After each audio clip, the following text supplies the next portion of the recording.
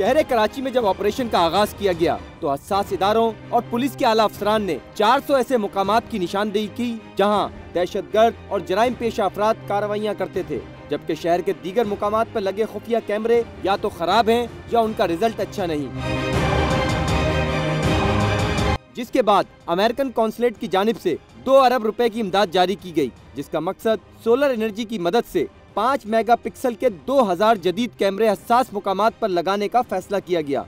इन high profile कैमरों की मदद से रात के अंधेरे में भी दहशत गर्दों की कार्रवाइयों पर नज़र रखी जा सकती थी। 17 मार्च 2016 को अमेरिकन कौंसल जनरल से IG Sindh A D Khawaja की मुलाकात हुई, जिसके बाद अमेरिकन कौंसलेट की जानब से एक खत लिखा गया, जिसमें दो अरब रुपए की इमदाद से लगाए जाने वाले कैमरों का मुहिदा फौरी तौर पर खत्म कर दिया गया।